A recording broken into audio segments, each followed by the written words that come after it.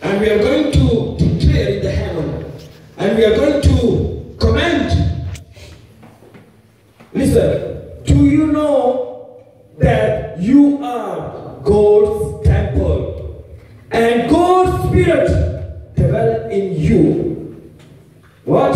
The God's Spirit dwell in you. If anyone destroy God's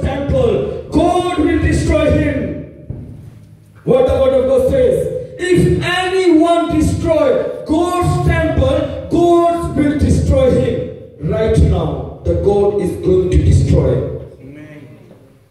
If anyone destroy God's temple, and God will destroy him, for God's temple is holy, and you are that temple. Amen. Hallelujah. Now, my brothers and sisters, you are going to apply. And you yourself are going to comment that the unclean spirit is destroying your temple, is destroying your body, is destroying your